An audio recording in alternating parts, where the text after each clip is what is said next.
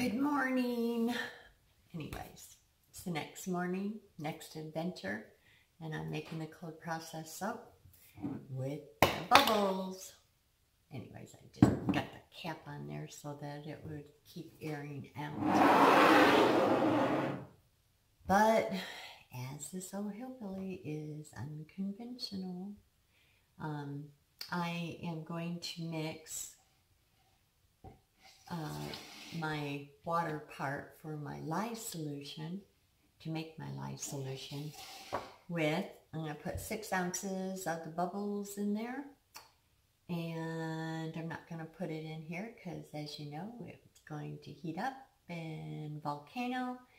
You can, you know, just make sure that the uh, champagne is, you know, settled down for a couple of days. Keep it out in the air, whatever. But I'm not going to do that. I am going to do the heat transfer. So there's my butters and um, hard oils in here. And I'm going to take my bubbles, my champagne, and I will add it to this. And get the lye solution, and I'll put that in there, and then, you know, do that thing.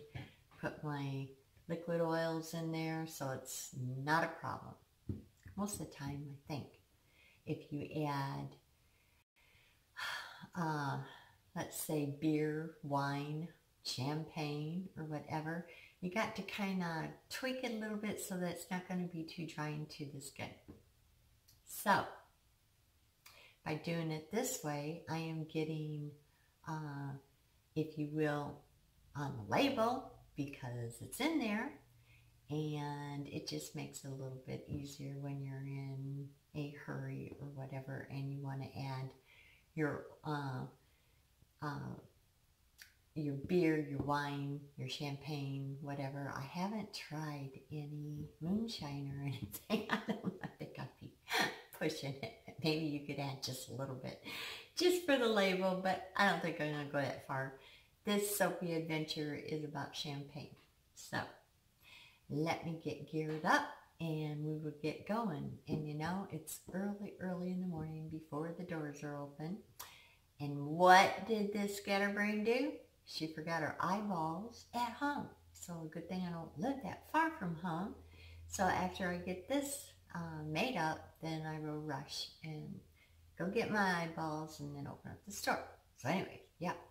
I'm just not a morning person, but you have to be. So let's get to this.